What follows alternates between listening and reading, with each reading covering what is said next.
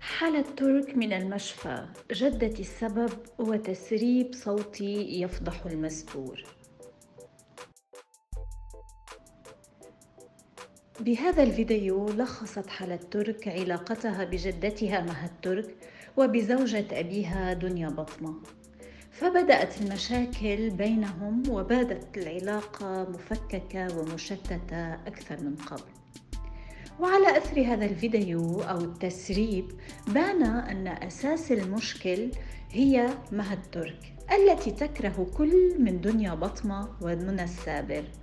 وعلى أساسه تبرت من حفيدتها وابنها محمد الترك فمها أي جدة حلا أكثر من سعيدة أن حلا رفعت دعوة على والدتها.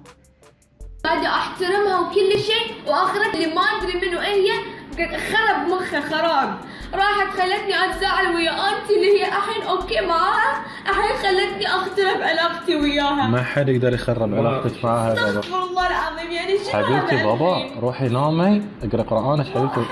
ما راح أقدر أنام إذا انت زعلانة بابا ما. حد زعلان منك أبوي. إحنا نعرفك بابا إحنا ما حد يزعل منك حبيبتي. ما حد يزعل. لا تحاوتين وروحي رجعي ونامي في شيء بابا تصلحها روحي نامي يا أبوي انزين بس أقول لك شيء بابا بس آخر شيء. يعني الحين لما كنا داخل ولا تفكرين في شيء. أنت ما تزعل منك لأن أنت تعرف من كنت أنت. تسوي بروحك ما في شيء. قلت لها أنت أنا ميته من داخل. ما في لما مشكلة. كنا كنت أصور الفيديو. ما في مشكلة. وتبرأت مها الترك من حلا وابنها معلنة ببيان قانوني ورسمي أقر أنا الموقعة أدناه مها كمال الترك بأني أعلن براءتي من ابني محمد الترك ومن ابنته حلا الترك بعد ادعاءاته الكاذبة ضدي وعلنا.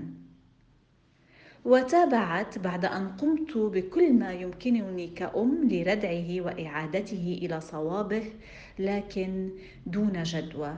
وأعلن أنه ومن تاريخ هذه البراءة لا تربطني به أي صلة أو علاقة. حسبي الله ونعم الوكيل. الأمر صعب جدا لا حول ولا قوة إلا بالله. يأتي ذلك بعد أن قام الترك بتسريب مقطع فيديو لابنته حلا وهي تقول أن أمها وجدتها هما من أرغماها على القول بأن زوجة والدها دنيا بطمة تجبرها على أشياء.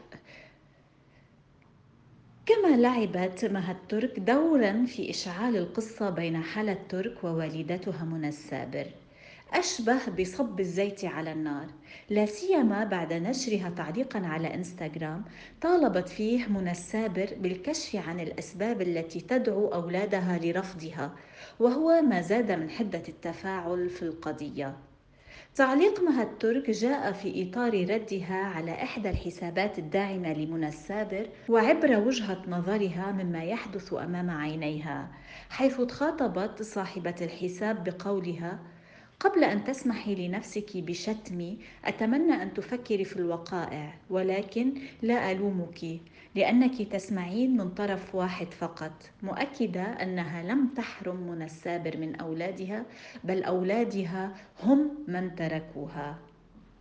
من ناحية أخرى رد محامي حلا الترك على كل تلك الإشاعات التي تطال حلا وكل ما يتم تداوله في الإعلام حول القضية وقال أنه يمنع في الكلام عن القضية وكل ما يتم تداوله معلومات غير صحيحة. ولا يمكنه التطرق إلى تفاصيل وقائع متعلقة بقضية ما زالت منظورة أمام القضاء البحريني.